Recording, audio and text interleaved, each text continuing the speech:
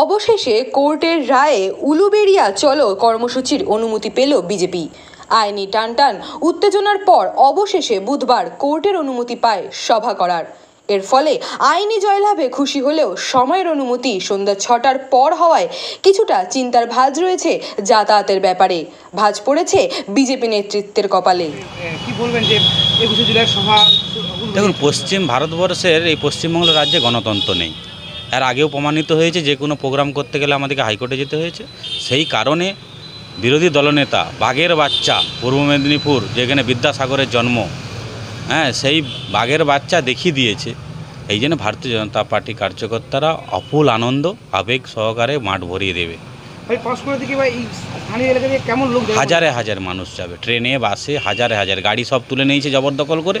তবুও তবুও আমরা মেশিন টলি করে হলেও টোটো করে হলেও পায়ে হেঁটে হলেও ভারতীয় জনতা পার্টি কার্যকর্তা সৈনিক এক একজন। তারা ভারত এই শুভেন্দু অধিকারীর জয় বা বিজেপির জয় এই জয়ে সামিল হয়ে সবাই আনন্দ যে হাইকোর্ট ধন্যবাদ মহামান্য আদালতকে ধন্যবাদ জানাই। মানে খুবই চাপে ছিলেন খুবই চাপে খুবই চাপের মধ্যে খুবই পুলিশ প্রশাসন পুরো দালাল হয়ে গেছে তৃণমূলের দলদাস হয়ে গেছে। তার এইটা প্রমাণ। আর সত্যের জয় একদিন হবে এটা সত্যের জয় আপনার নাম আর কি প্রতীক পাখিরা রাজ্য কমিটির সদস্য ঘাটাল সাংগঠনিক জেলা অবজার ভাই ভারতীয় জনতা যুব মোর্চা কোর্টের নির্দেশের ফলে রাজ্য বিজেপির কপাল থেকে ভাঁজ কমলেও তৃণমূল কংগ্রেস রাজ্য বিজেপিকে কটাক্ষ করতে ছাড়েনি। তৃণমূল নেতা সৌমেন মহাপাত্র সাংবাদিকদের জানান যে, নরেন্দ্র মোদী যেভাবে পার্লামেন্টে সকলের কণ্ঠরোধ করছে, তা একেবারেই গ্রহণযোগ্য নয়। এছাড়া তিনি আরও বলেন যে, তৃণমূল কংগ্রেসের একটি মহাসমাবেশের দিন বিজেপি কীভাবে উলুবেড়িয়া চলোর মতো একটি কর্মসূচির ডাক দেয়, সেটিও অত্যন্ত নিন্দনীয়। তিনি আরও কি কি বললেন আমাদের সাংবাদিকদের বিজেপিকে কটাক্ষ করে? আসুন, শুনে নেব তার মুখ থেকেই। প্রত্যেক দল তার মিটিং মিছিল করার অধিকার আছে। তারা হাইকোর্টের দ্বারস্থ হয়েছিলেন। হাইকোর্ট তার রায় দিয়েছেন। মহামান্য আদালতকে আদালতের রায়কে আমরা মান্যতা দিয়ে বলব। যা যা নির্দেশাবলী দিয়েছে তারা মেনে করবেন, আশা রাখি।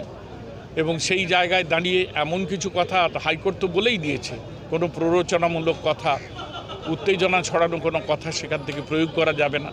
যদিও এখন পার্লামেন্টে দেখছি মোদিজি, শাহজি, তারা বিরোধীদের কণ্ঠরোধ করার জন্য কিছু ভাষার উপরে তারা বলছেন, এই সব ভাষা ব্যবহার করা যাবে না। তবে এরও প্রতিবাদ হবে, জনগণ এর বিচার করবেন। হিটলারি মনোভাব নিয়ে চলা যায় না। আর ঈর্ষার বশবর্তী হয়ে, যেহেতু তৃণমূল কংগ্রেসের এত বড় সমাবেশ, পাশাপাশি আরেকটা সমাবেশ করব। তৃণমূল কংগ্রেসের সঙ্গে কখনো চ্যালেঞ্জ নিয়ে পারা যায় না, তার সঙ্গে তুলনা কখনো ব্যুরো রিপোর্ট এভিএন বাংলা।